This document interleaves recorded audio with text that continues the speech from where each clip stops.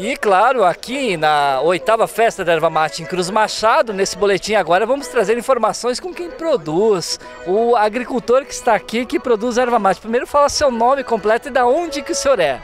Delfino Wisniewski, linha Independência, município de Cruz Machado, estado do Paraná, região sul.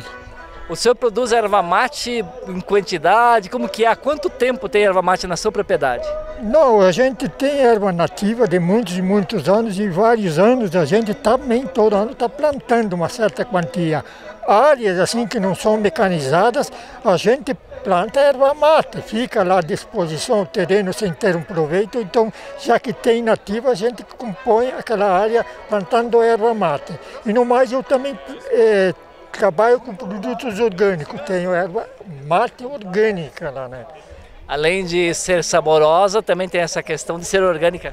É, isso é muito importante, não só erva mate, como todos os produtos, colono e trabalhar com produtos orgânicos, que hoje em dia a procura é bastante, né?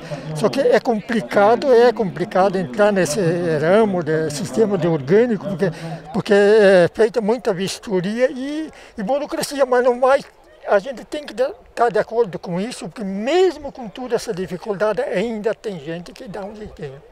E na produção de erva mate, aqui em Cruz Machado, ela também passa de pai para filho. É isso, Marcelo? Você também toca na propriedade a produção de erva mate? Como é que está o mercado, a plantação e tudo mais? É, bom dia, com satisfação imensa estar aqui na, nessa festa da erva mate, que é com grande orgulho, né, nós, nós produtores da erva mate, porque é um, uma fonte de, de, renda muito importante né, é, para a nossa agricultura familiar aqui da nossa região sul do Paraná. É, nós plantamos erva há muitos anos já, né? Nós temos empenhado na erva mate porque é uma cultura, na verdade, que ela vem, vem crescendo na, no sul do Paraná, porque é uma fonte de renda muito importante para a nossa agricultura e, eh, e também para que a erva ela vai para exportação, né? O que nós temos que cuidar a, a nossa produção, a nossa qualidade da erva mate para fora, porque ela é muito importante, né? E e também outro, outra, outra importância que nós temos que ter a erva assombreada, né? Ah, no meio das araucárias, deixando as araucárias em pé, por causa que ela dá um chimarrão melhor, né? Porque se for no limpo, só no limpo, né? Ela fica, fica muito, muito amarelada. Então é muito importante, né? Que nossos agricultores é, caprichem bem da, com a erva mate.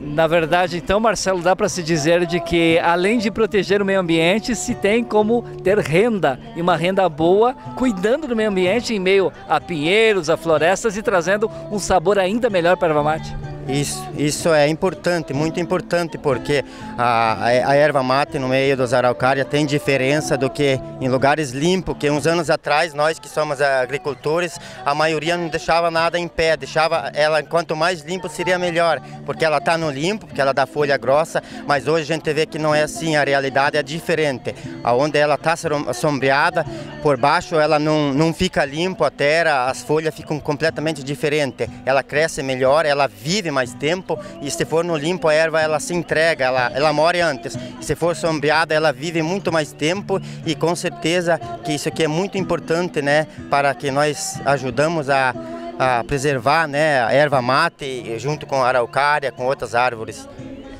Então, o um recado importante para você aí do outro lado, que assiste pelo canal 4 e que toma chimarrão, de que a erva mate sombreada ela é melhor e quem produz ainda preserva. Mais um motivo para o seu chimarrão ser melhor ainda. Agora vamos falar com mais um produtor que tem erva mate na propriedade, uma pequena propriedade aqui em Cruz Machado. Primeiro, fala seu nome completo, senhor, onde que o senhor mora? O meu nome é Teófilo Chimonca, eu moro em Lajado Lisa, sou de Cruz Machado mesmo. Sou um pequeno produtor rural, trabalho com erva mate, apicultura, um pouco de reflorestamento, meio de tudo. Lavoura, porque pelo menos tem uma renda. Uma, uma, produção não dá renda, mas a outra dá renda, né? E sempre a gente agrega valores, mas quanto mais na propriedade diversificada, terá mais renda. Família vive melhor sempre, né? E, sobretudo, também preservando o meio ambiente, porque a erva mate sombreada, embaixo de pinheiro, embaixo de outras árvores. Sim, a minha erva mate é quase toda sombreada. Tem uns pedaços que não é sombreada, eu plantei araucária para sombrear. E plantando essa araucária, você também tem a expectativa de que dê a sombra, mas também o meio ambiente sendo cuidado. E quem toma chimarrão lá do outro lado sabe que é uma erva de qualidade. Sim, terá uma qualidade bem melhor a erva mata, na verdade. E ainda, além disso, o pinheirinho, quando ele cresce, ele vai produzir pinhão, vai ter um alimento ainda mais, né? Tá aí, então, nessa festa da erva mate aqui em Cruz Machado, mostrando de que além de um produto de qualidade, meio ambiente preservado, é inclusive a manutenção do pinheiro araucária também.